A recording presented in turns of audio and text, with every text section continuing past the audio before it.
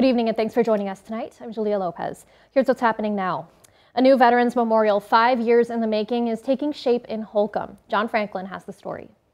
Nine flags fly proudly in the Holcombe Area Veterans Memorial.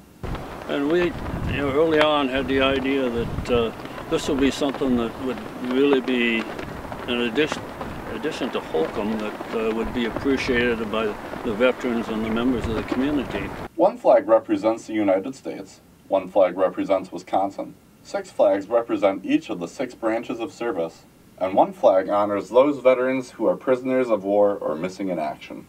To see these flags fly, finally flying over this memorial that these men have worked so tirelessly for five years to actually make it a reality. The flags get brought up every morning and retired every evening, but their first time flying over Holcombe was on November 4th.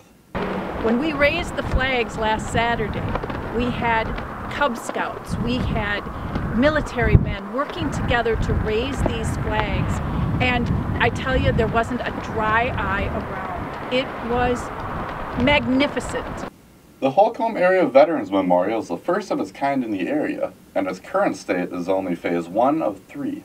In upcoming phases, there will be landscaping done, a pavilion, a POW MIA media center, and even a meditation garden. We are building a Veterans Memorial, not a war memorial. To give your life for freedom is not the worst. Being forgotten is. And that's what this is about. We want to forget no one. We want everybody to be remembered. For News 18, I'm John Franklin. The Holcombe Area Veterans Memorial Committee has already raised more than $250,000, but still need donations to make their dream a reality. To learn more, click the link on WQOW.com.